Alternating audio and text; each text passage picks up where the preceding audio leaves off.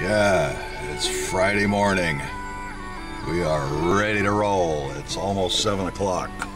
Pack is so heavy, two people have to carry it. This is how we're going to do it the whole trip.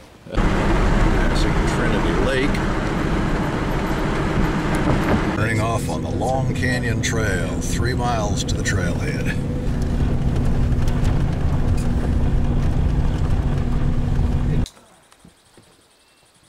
This game is called How Much Can You Carry? Last preparations, packs going on, ready to roll. First four or five miles are all uphill.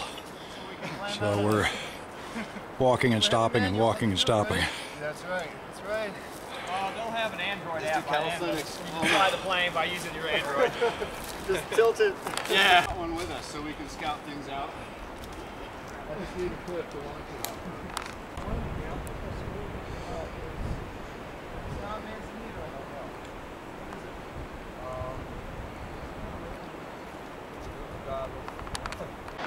From the trail at this point, it's about a 45 degree slope, about 200 yards down to a rushing little stream at the bottom of the ravine.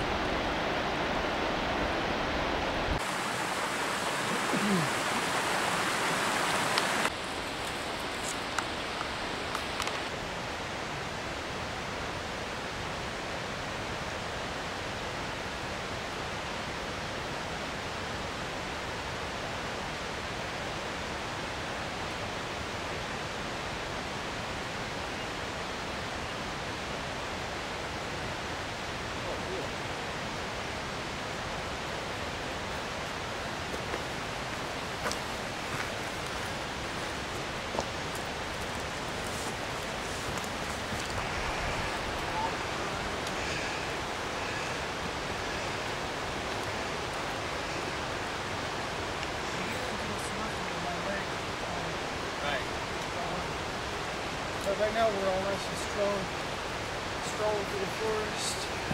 Here. Uh, I'm gonna walk over here. Gotta go to the cold water.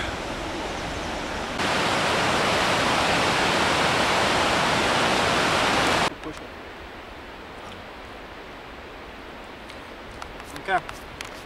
Along the way, we're seeing lots of this beautiful yellow lupin. Seems like a lot.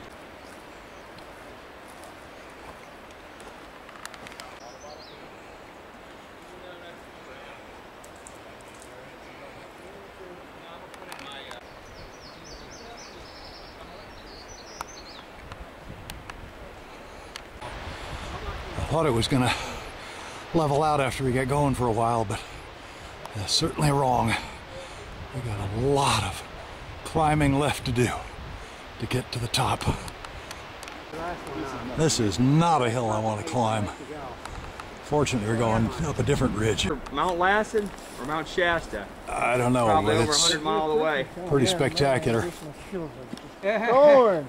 You're the man. So.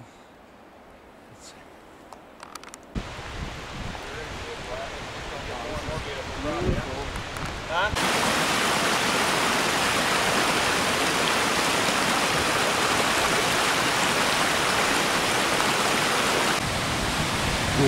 just about reached the snow line.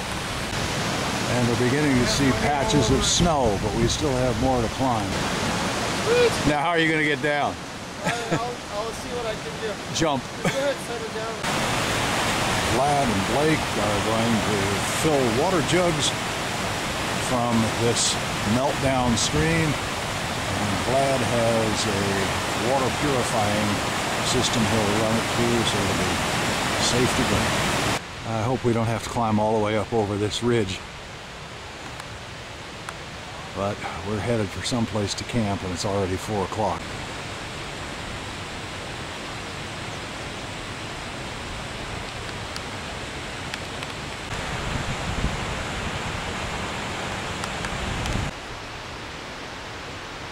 Is some really steep country. The trail has gotten so steep, that now there are 20 inch rocks placed as steps to come up the trail. One step at a time. And still we climb up and up and up. We are headed for the pass.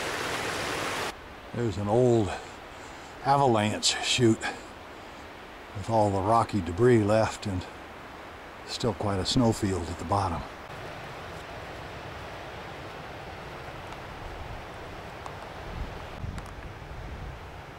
This is getting more and more beautiful.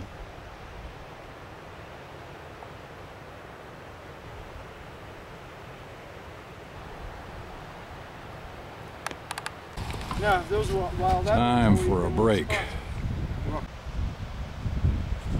Is there a flower there?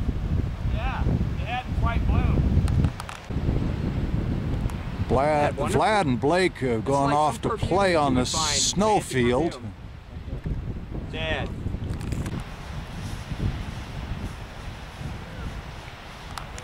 Here in mid-June, these little flowers indicate the spring is just arriving above the 6,000 foot level.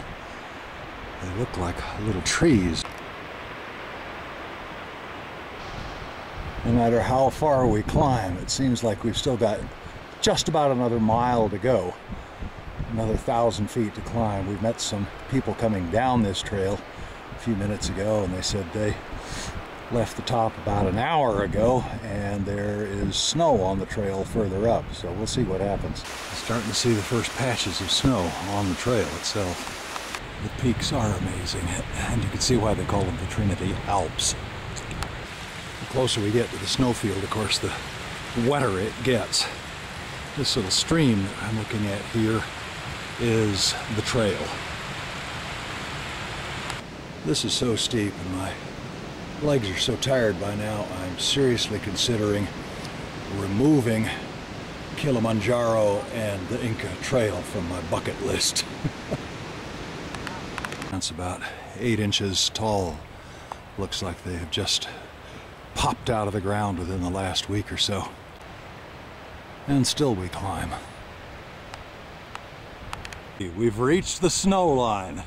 Yeah. Rough hiking ahead. This is what you would call a wet trail. and this isn't warm enough to be wet yet, just snowy. There goes the trail.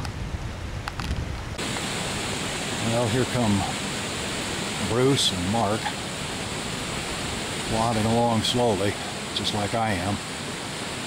And their next obstacle is the snowfield. we don't really want to climb across this steep, steep snowfield.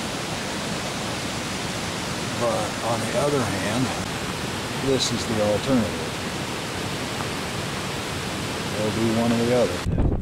Well, it's about 9.30 at night and we have pitched tents and eaten dinner. And that means it's about bedtime.